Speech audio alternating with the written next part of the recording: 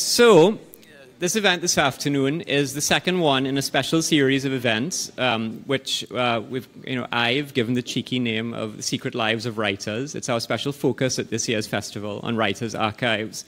Um, now, I think we all know writers' public lives can be very exciting.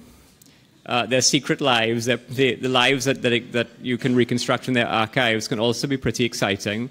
One reason being that, in addition to, to being a, a resource for scholars, for researchers, sometimes the archive becomes a resource for creative people. It's a source of, of inspiration or, or, content or ideas or just uh, an example to follow. Um, so um, I'm going to hand over in a minute to Kei Miller, who's going to tell you a bit more about what's happening this afternoon. Kei is one of the, the two people leading this research project, the Caribbean Literary Heritage Project, along with Alison Donnell. I'm sure many of you were in the audience on Thursday um, for the, their discussion about the, the, value of writers' archives. Today we're going to ask about the value of writers' archives in a different sense, because what we've done is, and this is one of the things that I'm very excited about, it's my favorite part of this entire archives project, is that what we've done is we've commissioned three writers sitting here on stage, who you'll, you'll hear the names of shortly, to delve into literary archives that exist here in Trinidad and Tobago as it happens, um, all of them in the, the uh, special collections at the main library at the University of the West Indies, where there are papers, um, uh, archives and papers from writers like, uh, like Derek Walcott, like Sam Selvon, like Eric Roach, um, like Eric Williams, who was both a politician and a writer. We asked these writers to go and poke around and explore, see what they could find there, and find something that would inspire them to create something new and we left it pretty open what that new thing could be. So it could be a piece of fiction, it could be a poem, it could be an essay, it could be a, something hybrid. Uh, so now we're going to hear what they've come up with. So as I said, I'll leave the detailed introductions to the, the members of the, the, uh, the Archives Project team. I'll hand over to Kei, who's going to be your, your chair and your host for this afternoon. Give them all a big round of applause, and let's sit back and enjoy this.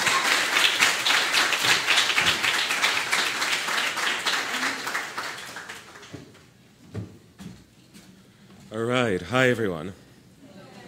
Hi. Uh, uh, does that need to be the right level? Yeah. this tone does sound more dulcet at this. uh, so, uh, so yeah, welcome everyone to today. This. Uh, Nicholas gave a pretty good introduction right there about what this panel will be. I'll tell you a little bit about the project as a whole, the Caribbean Literary Heritage Project, which is really the brainchild of Alison uh, Donnell, who is the kind of powerhouse um, behind it and pushing it along. Uh, it is a pretty ambitious and multi pronged uh, project, which I guess has at, it, has at its heart uh, the, the job of raising awareness about archives, uh, how how writers keep archives, how writers keep their own archives, but also the, how, how, the, how, we keep our own papers, um, yeah, raising an awareness about that, but also thinking about um, archives that exist now and what's hidden there and what we might find there, what we might um, explore and unearth.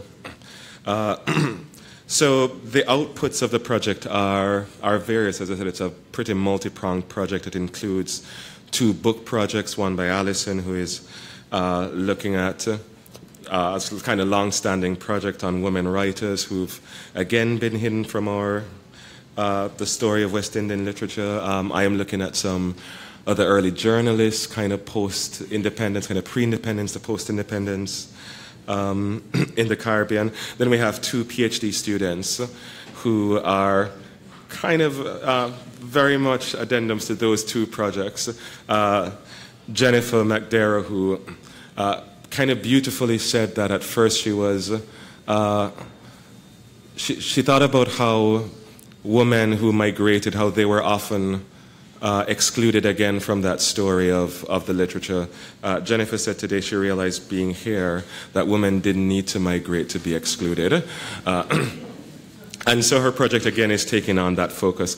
By the way, I, I, should say Jennifer is going to be here in Trinidad. A big thing that we've learned uh, doing this project, even in its early stages, is that uh, a lot of what we learn comes from kind of word of mouth. It comes from you guys knowing what we're doing, and you might have a piece of information, you know, oh, you know, I know this journalist, or, you know, my uncle was was a writer who did this or who worked at this newspaper.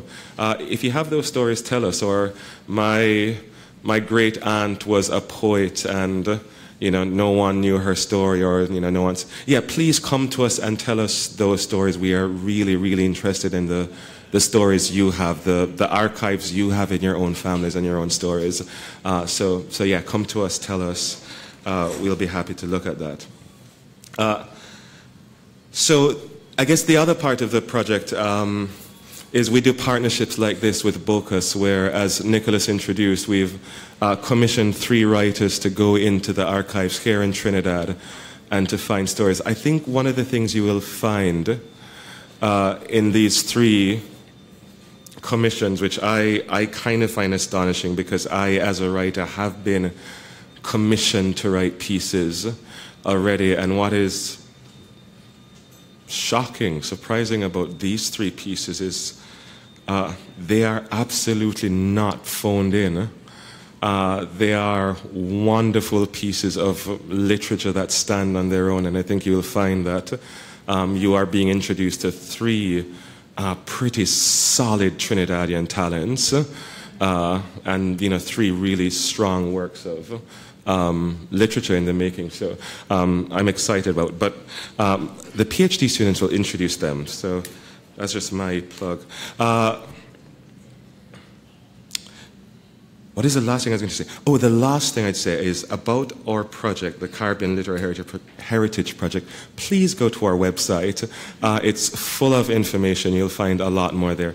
Um, there's questionnaires. There's you know these little postcards. Uh, please grab one, take one. They're beautiful book covers on them, you know, uh, and a lot more information. So I will introduce Zakia Mackenzie and Jennifer McDara, who will come up, uh, I'm not sure in what order, um, and tell you about the writers on stage, and then we'll, you'll hear from them, and then we'll have a conversation after.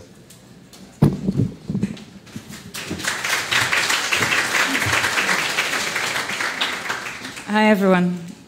Thanks for the excellent introduction, Kei. I don't want to take any more time, but just say it's really lovely to be here. And now you know why I am here.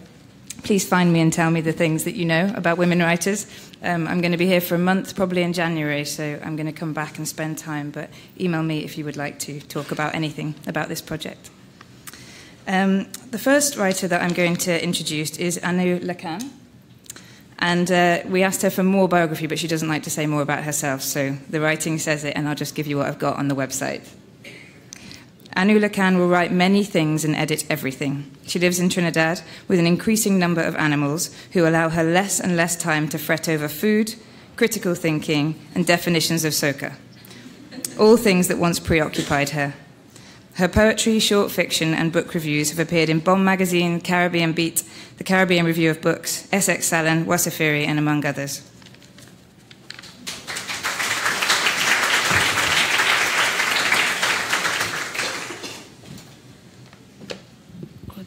the bedeviling question of where these things fit. Um, okay, so no, I got, I'm good. Thank you. Um, I'm just going to get right into the piece. I think um, when we're discussing after, you'll uh, all, all, and then change will probably be revealed. Yeah, it actually starts with a sigh.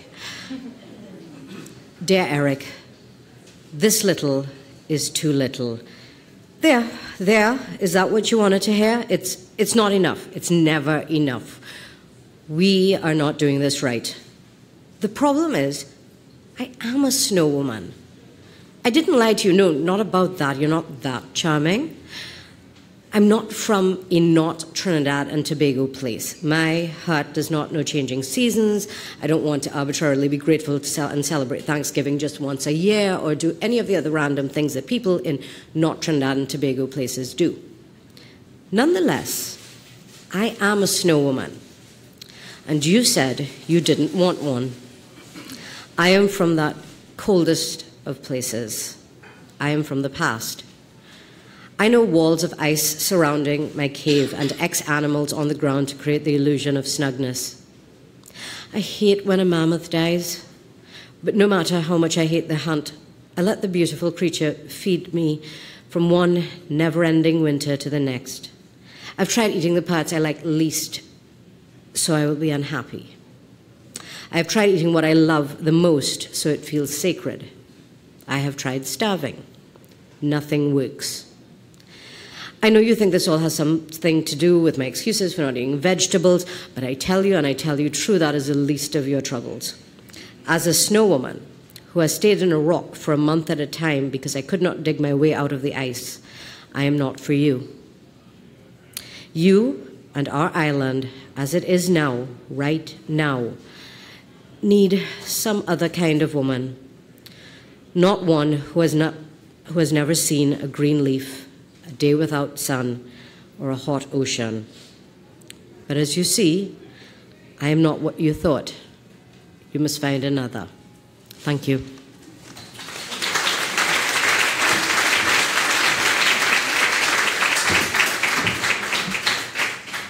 Thank you very much, Anu. Hello, everyone. My name is Zakia Mackenzie, and I am one of the PhD students on this wonderful Caribbean Literary Heritage Project. And it is my absolute honor to introduce Andre Bagoo. Andre is the author of three poetry books Trick Vessels 2012, Burn 2015, and Pitch Lake 2017.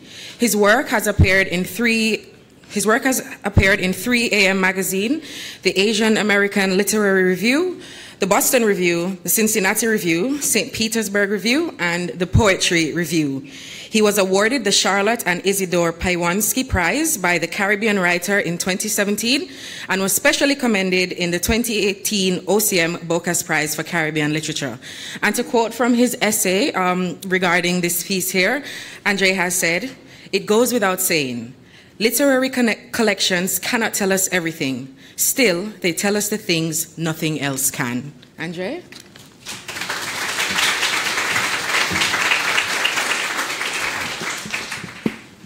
Thank you. I, I would preface reading this piece by saying um, I think the question of whether Eric Williams, Trinidad's first Prime Minister, had a gay relationship with Johnny O'Halloran has been insufficiently assessed.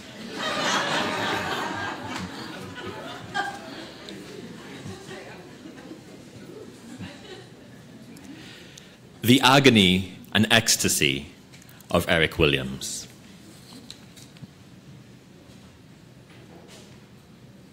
There were two eclipses of the sun in 1962, both not visible in Great Britain. On the morning of August 31st of that year, the day Trinidad and Tobago gained its independence, he was up at 8:45 a.m. Relatively late for him. That night, he smiled. He packed his bags.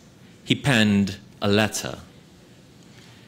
Erica, darling, he wrote, just a few lines before I leave for Tobago to wish you all good luck as a citizen of independent Trinidad and Tobago.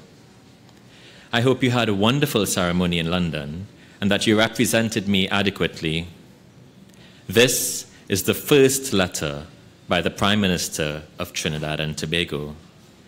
See you on Friday next week. Be good, take care, and all love from your Prime Minister Daddy. He was a symbolic man his diary entries before August 31st in black ink. Then, from Independence Day, everything is red.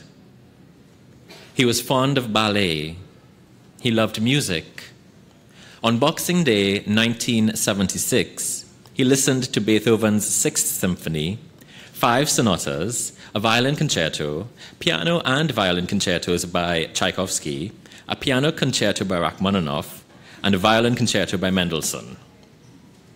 The second to last entry in his diary was a note of an expense. He paid $260 for the purchase of speakers. His hearing aid cost US $400.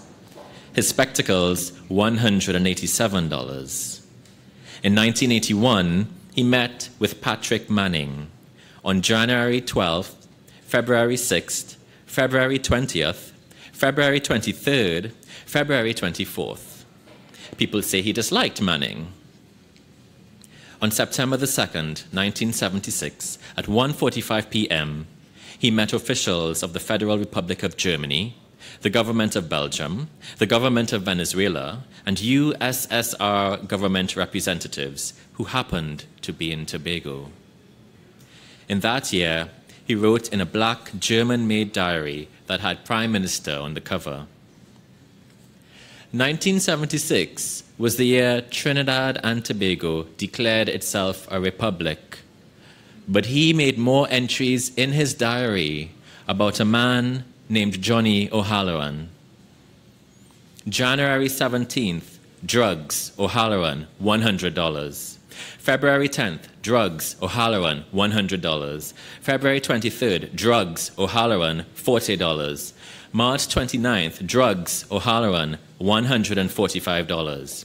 April 28th, drugs, O'Halloran, $107. June 4th, drugs, O'Halloran, $100. June 10th, drugs, O'Halloran, $25. July 12th, drugs, O'Halloran, $100. July 13th, drugs, O'Halloran, $93. November 4th, drugs, O'Halloran, $214.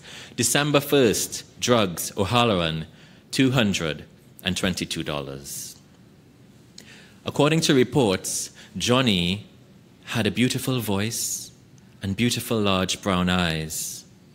Johnny wore only white or cream colored suits, drove large American cars, had Irish charm.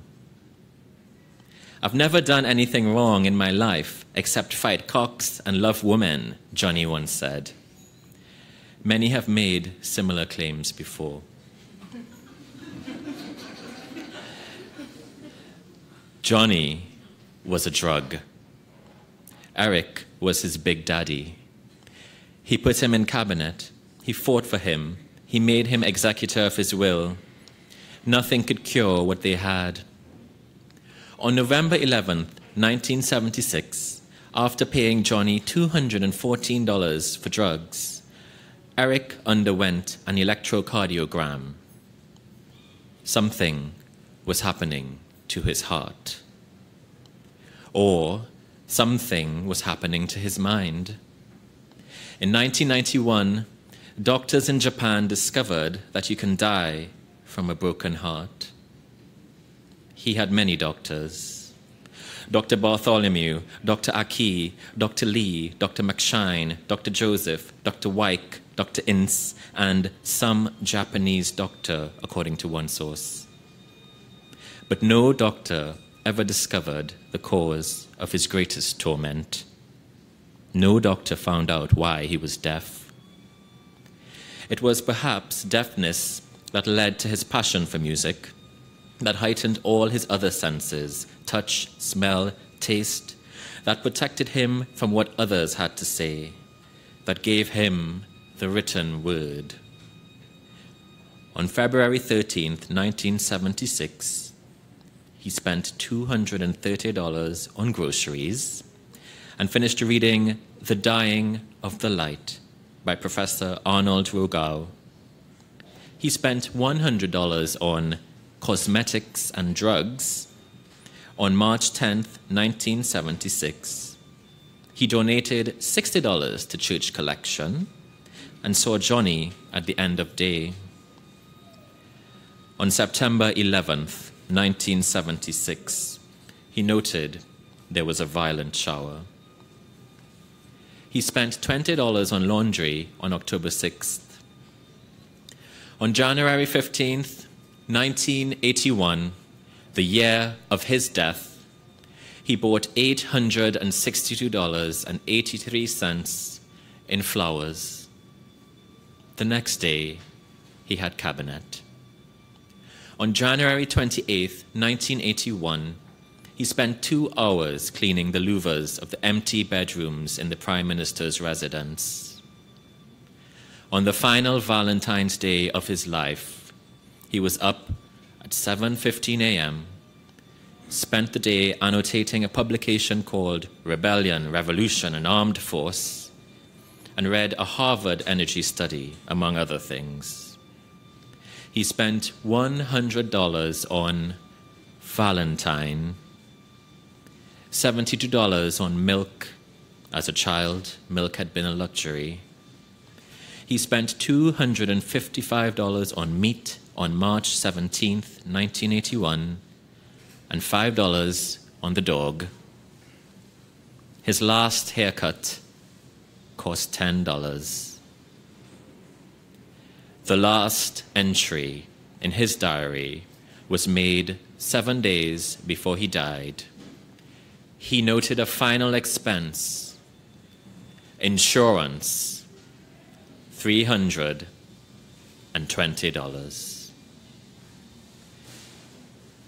The Premier closed the diary as if he had secreted the remaining ounce of his soul in black ink. He had dropped the red soon after independence. The diary's paper lined and divided into boxes, his life now chaptered and dog eared, his passions prorogued by the thought of who was coming for him. Days passed in which he wore the same soiled clothes and wrote no more. Then, on the last Sunday, he blasted all the records and sat alone, imagining the moment when he fell as a child on the football field and the world was just an empty stage, and all he could hear was the symphony of a life he had not yet lived.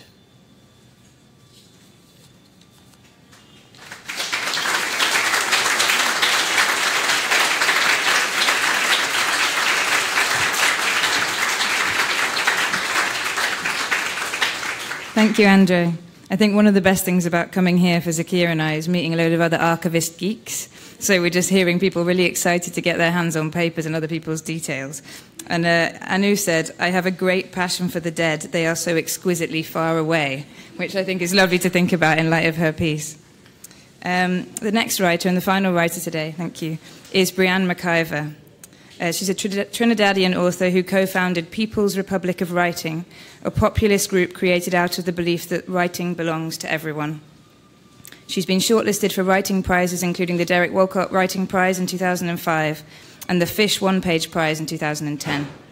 In 2015, her story Christoph and Bonnie won the Caribbean Writers David Hough Literary Prize.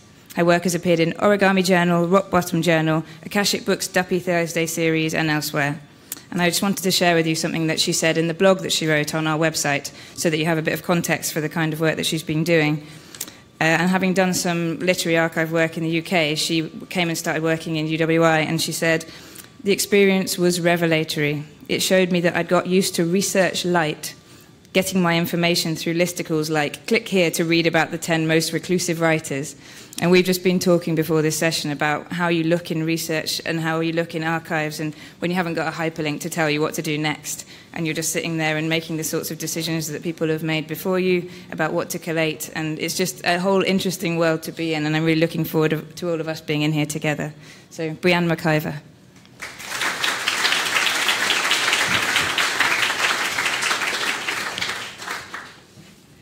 Thank you very much. Um, I did catch archive fever, so much so that I wrote something much too long to read in its entirety. So this is an extract. Becoming Bianca Black. 14th of Jan. Page 1 of what is to be a very illustrious literary journal. Why have you succumbed to this self interview? For the money Okay, really? For the conversation, for the record. To remind myself that although I spent yesterday near naked, being slathered with chocolate syrup and squirted with whipped cream for a Valentine's Day photo shoot, I'm not some dumb model. It's easy to forget that when a photographer is yelling at you to arch your back and pull your panties lower, and the combined actions cause that awful, sticky syrup to run into your body's cracks and crevices. And when you go home, even after using the most aggressive body scrub, you still can't get the smell of Hershey's syrup off you.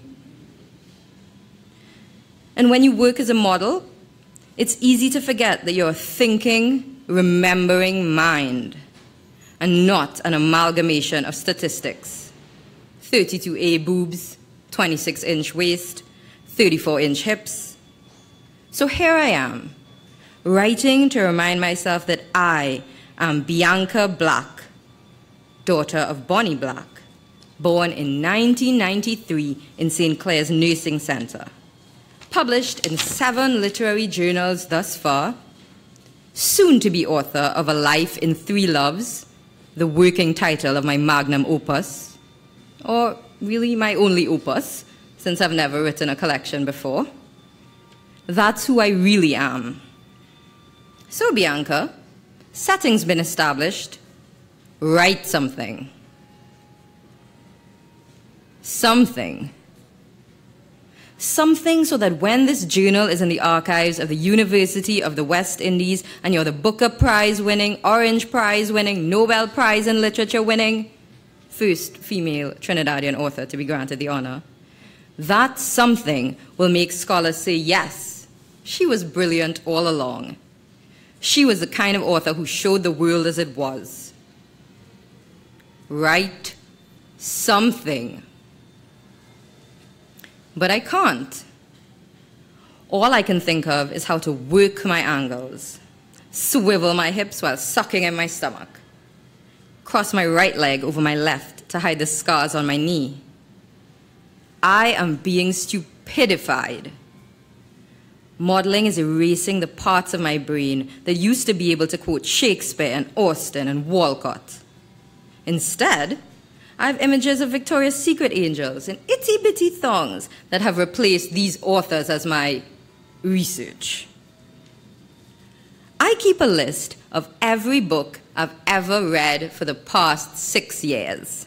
Six years ago, I read five books a month, with highlights including Anna Karenina, The Old Man and the Sea, A House for Mr. Biswas, and The Autumn of the Patriarch. And now, the Fat Flush Cookbook. Skinny Bitch in the Kitch. Kick ass recipes for hungry girls who want to stop cooking crap and start looking hot. Both real books. Google them. so, this is my promise to myself, to whoever reads this journal when these days are far behind me. I am going to write something smart I'm going to keep myself sane. And I'm going to give up modeling soon. 15th of Jan, self interview session number two, in which the author attempts intelligent conversation. What are your thoughts on the way Marquez manipulates time in the autumn of the patriarch? Well, Bianca, I found the novel a near unreadable stain on Marquez's reputation, and it's a miracle that it got past not just his editor, but an entire publishing house and the translator to find its way into print. It's a credit to my tenacity as a reader that I was able to complete it. What are your thoughts on the way Rhys portrays colonialism in Wide Sargasso Sea? Brilliant. Who are your literary inspirations? Edwidge Danticat and Derek Walcott. 16th of Jan, self interview session number three. When did you stop being an interesting person? I don't know.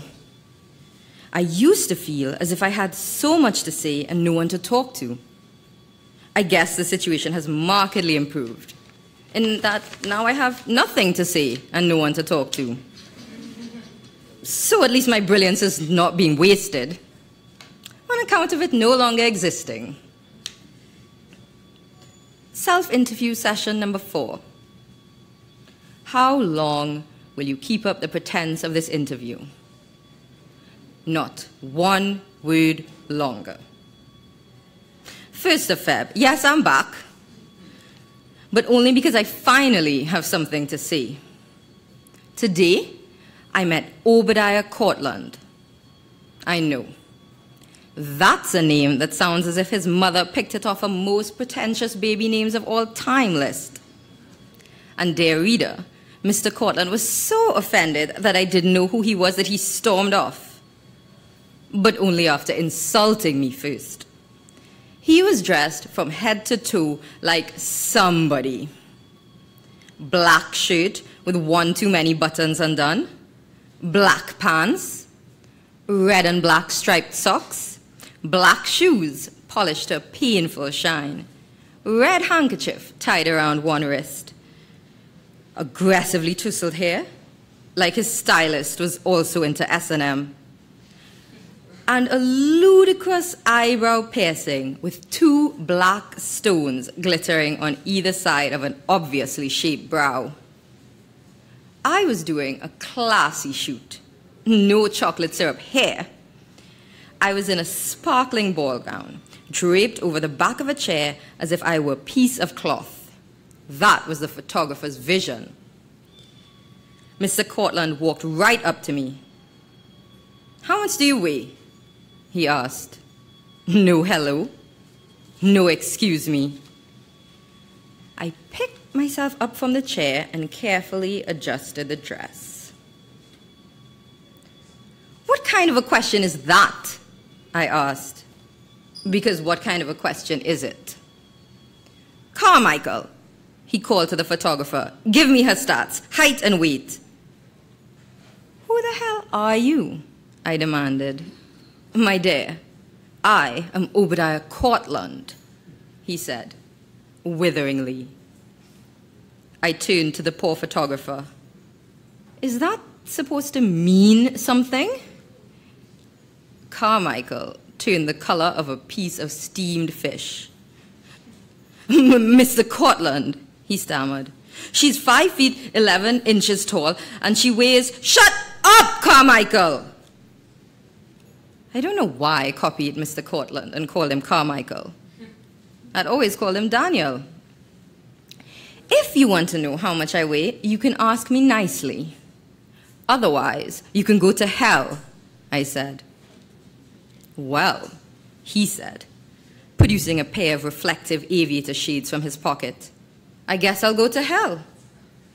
And he did, presumably. It took Carmichael 10 minutes to recover. Do you know who that is? He demanded. Who is he? So he told me. Local makeup guru, owner of the only international makeup school in Trinidad, worked on stars as diverse as Halle Berry and Barbra Streisand. Close links to Miss Universe. Publishes a magazine that launched the careers of every Caribbean model who'd ever made it anywhere. Well, Carmichael, I said, it's a good thing I have no ambition to be a Caribbean model making it anywhere. I'm just doing this for now. Carmichael gave me a look that said, Yeah, right. And I went back to draping myself over the chair. 3rd of Feb, in which the author receives an unpleasant delivery. It was the last day of the shoot. We were all the way at Las Cuevas Beach, not one cloud in the sky. Carmichael, I somehow can't think of him as Daniel anymore, had draped a white sheet over the sand and I was wearing a wedding dress.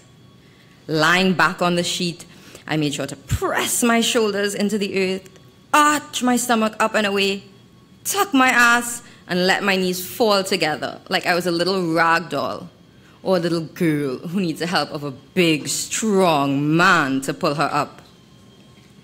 Then I threw my head back and parted my lips. It's the kind of canned sexiness that sells. Carmichael was saying those things photographers say. Give it to me, Bianca, and yes, baby. Then a man in a red and gray FedEx uniform showed up. He had an envelope addressed to me. There was no signature, no letterhead, nothing like that. Just two words 128 pounds. The bastard. 5th of Feb, in which the author actually discusses writing. Spent today working on my magnum opus. Can't be a great writer if you don't write. I sat down and put on my favorite YouTube playlist harp music. What I really want to do is tell my mother's story. I have a Hallmark card I bought to inspire me. It's stuck to the wall in front of my laptop. The front shows a red heart tucked into an envelope. It reads, Mom, I love being your daughter. That's what I want my stories to say. If my mom were alive, I imagine that I would give her a card like that. My favorite Edwidge Danticat is The Dew Breaker, which tells the story of her father, a man disfigured by a rope like scar who lived a life like a giant with boots on either side of Haiti. My mother wasn't like that. She lived an unexceptional life by the standards of the world. She was born to poor parents.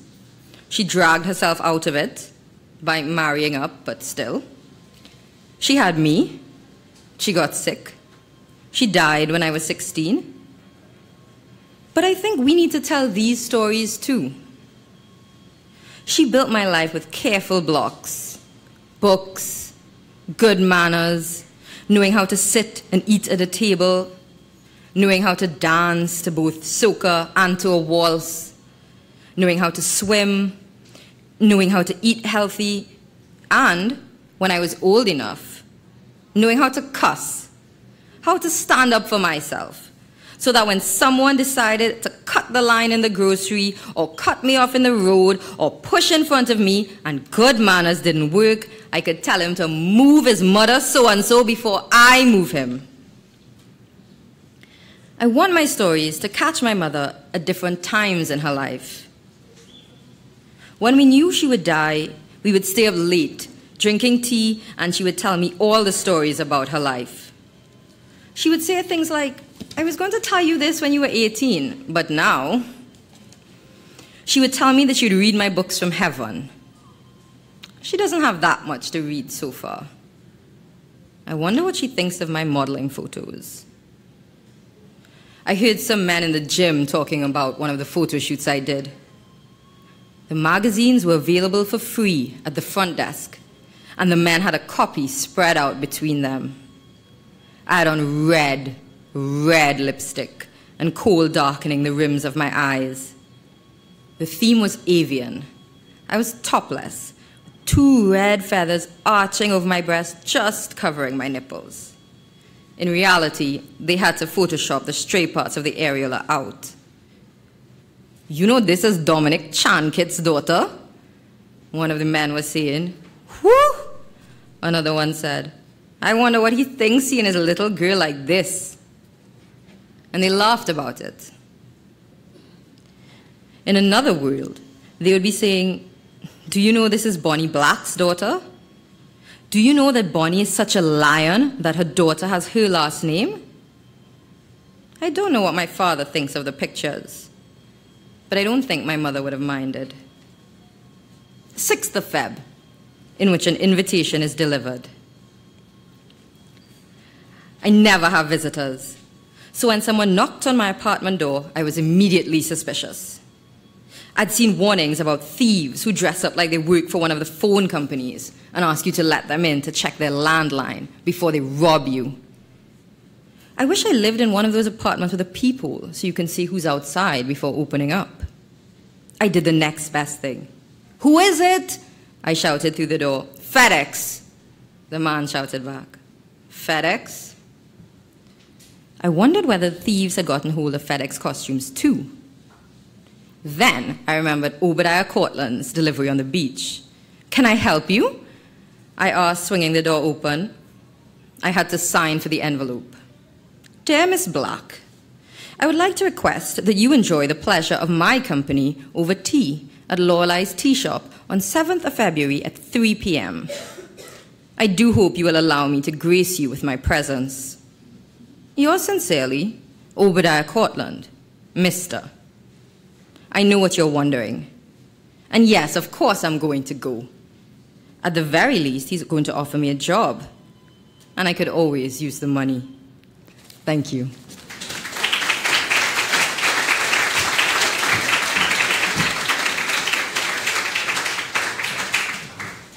All right. Yeah. Hello. Is that on? No. Not on yet. Hello. Huh? Is that- Yeah? No. Uh, you guys can hear me, right? Uh, I mean, I'll keep it here. Okay. Uh, I guess the obvious question. Um, I, I, gather that uh, uh, that where you started, uh, looking into the archive, is not necessarily where you ended, and archives are always. Um, I mean, they're they're windy, kind of serpentine things. So, can you just tell us briefly where did you start and where did you end up? Uh, for each of you. So. So I, um, well, I've always been fascinated by the figure of Eric Williams. I don't think there's anybody who isn't. Um, but um, I began with, um, I actually went to the Heritage Library here at NALIS, and um, I examined various collections that they had. And after a while, I decided I wasn't sure what I was going to do. And the approach I basically adopted was I felt my way through the archives. So I just looked at loads of different collections and different items. And then I came back to Eric Williams and I was like, I'll stick with this. So I wasn't too sure where to begin. I actually began with Andre looking at Eric Williams' diaries and sort of worked my way through various authors. Um, I was actually pretty apprehensive about looking at Derek Walcott just because his archives are humongous and you almost don't know where to start. So I saw something called sort of Black Journal. I'm like, I'll start there.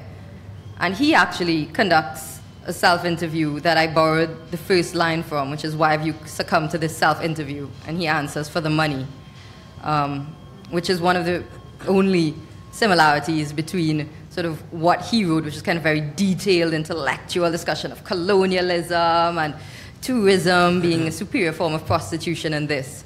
But that's sort of what inspired me here. Um, so my Eric is a different Eric. It's the Tobagonian poet Eric Roach, about whom uh, far too little is known. Um, and basically, people who know anything about Eric Roach, which, which might be a reasonable number of people, uh, they know two things. They know that he killed himself, and they know a poem called I Am the Archipelago.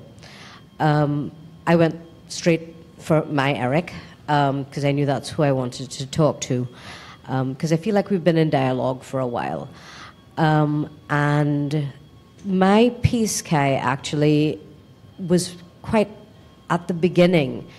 Uh, the first folder, folder 15, I think, uh, box two. Um, and it's a, I believe, an unpublished uh, work of fiction. And he references a snow woman, um, which means something completely different from what the snow woman I've written about means. But yeah. Yeah. I mean, I'll, I'll ask a quick and weird question. Uh, but I guess I've always wondered about that. How does the imagination interact with the archive? Uh, you know, this thing that seems fixed. What happens when you apply imagination to it?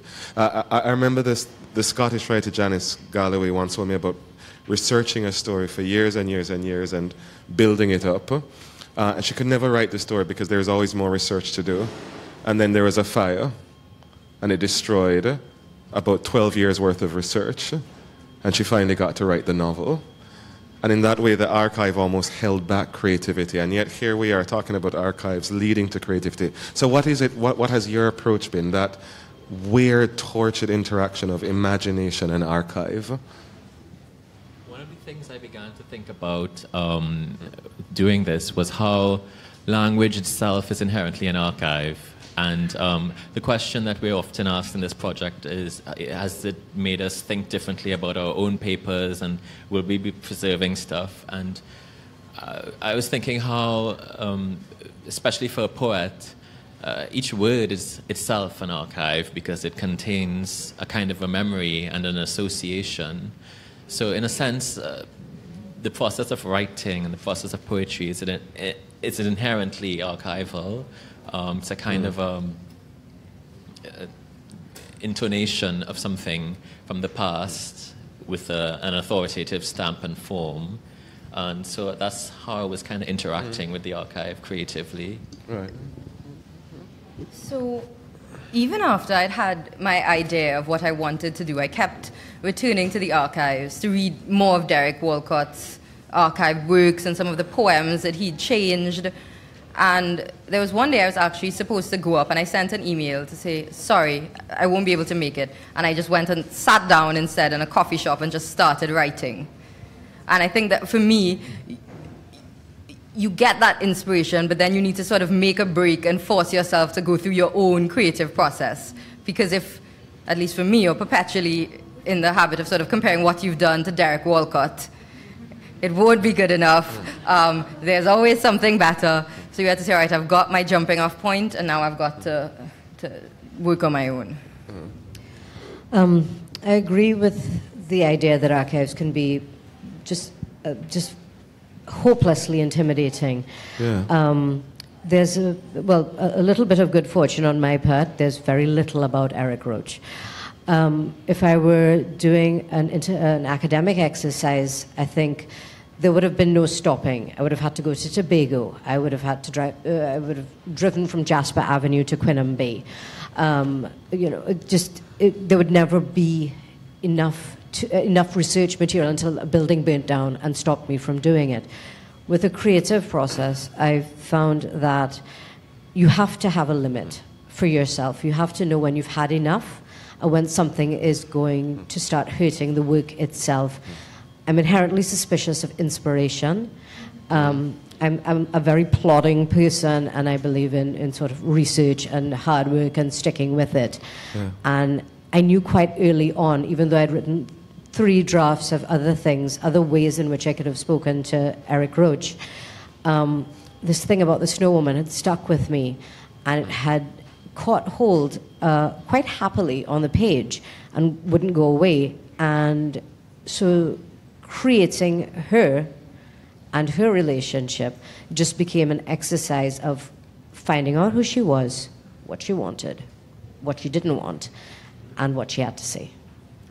Well, let's talk about those limits. And uh, we are almost out of time already. So I am going to ask one, one small question about limits, about the extent of this project. Uh, I know your project has gone on even further and you've, you've, you've imagined it as a whole. Novel. Do you see do, do you other two see yourself moving on with your exploration of Eric Roach or Eric Williams of the Erics in in any way beyond this? I mean, no judgment if you don't. Could just yes or no. Well, definitely, um, and um, I, I, couldn't read them um, because they were not readable. Uh, the um, the poem yeah. has well, no, literally, the poem has three. Of, the, no, they're not rude. The the poem has three three appendices, which are um, visual poems and concrete poems, uh, and, and um, they kind of play with this notion of um, uh, of academia and that type of writing but in a very wild kind of way. So I take one, I take one of his book covers, Inward Hunger, and I do mm. something visually with it. And I mean that exploration already, you know, has got me thinking about, uh, for instance, the transgression between uh, moving from a kind of a traditional lyric to this prose-like tone because you've done concrete anuses already. Sorry? You've done concrete anuses already. Ha- well, yeah. He's referring to an, uh, an, an, inf- an, infamous poem of mine. That is clearly. Uh, um, but um, uh, you can read it in Pitch Lake if you want to know more. But, um, but no, I mean, yeah. the idea of transgressing uh, media yeah. um, is fascinating to me, and, and the way in which this could actually rove across, moving from the written word to the visual to maybe other things like movement and even conceptual processes. Because Okay. I, I've been, like, for instance, um, recently this group uh, is it forensic architecture they were nominated for the turner prize Mm-hmm. and what they do is they investigate um, they actually do investigations but it becomes uh, art Mm-hmm. I mean, and that raises a lot of questions about well, what is the material of art, uh, and what is the difference between art and life? Yeah. And so, um, yeah, I definitely see this as becoming much wider. Yeah. And finally, Adam. Um, well, I know that we are short on time. It seems to be the theme of anything I'm involved in. Um, so I'll tell you just what the the three other drafts were, were like, and hopefully, just those titles will give you something to make you want to read about Eric Roach. Um, one is um, I too am a recovering federationist. Um, the other one is yes, Eric, me too. Um, and the third one is um, oh dear. Okay, maybe there's not a third one. Maybe the snow woman is a third one. I can't remember. Um, but I would like to continue to engage with Yeah. the work um, and the sort of where I kind of always saw my place um, in this group is that I'd been working with archives for a long time and generating um, creative products out of it um, because, as, as per my introduction, I'm really comfortable with people who aren't here anymore. Yeah. All right. Uh, guys, I, I would have loved to have given the audience a chance to ask a question, but I think that would be a little bit rude, and there's a session right after this, so forgive me. I, I, I really don't want to uh, go over time and push Bocas. But uh, Nicholas would like to say. Perhaps if people would like to ask questions, we can, even though um, there's not a book signing per se, perhaps we can go out to the book signing table and anyone who'd like to talk to the writer directly, there'll be a chance out on the terrace. That's an Yeah.